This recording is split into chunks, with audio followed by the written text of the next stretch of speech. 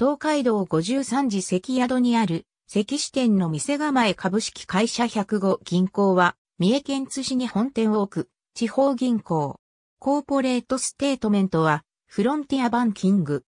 交渉は、丸と×を組み合わせたもので、二代目頭取で、魚問屋出身の岡貨平次が創作したものである。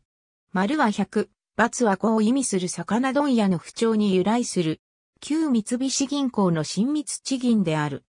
三重県及び県下大半の市長を指定金融機関としている四日市市を除くの指定金融機関であり、多くの店舗で三重県収入証紙を販売しているほか、三重県外でも愛知県2店舗、和歌山県1店舗、大阪府1店舗でも取り扱っている。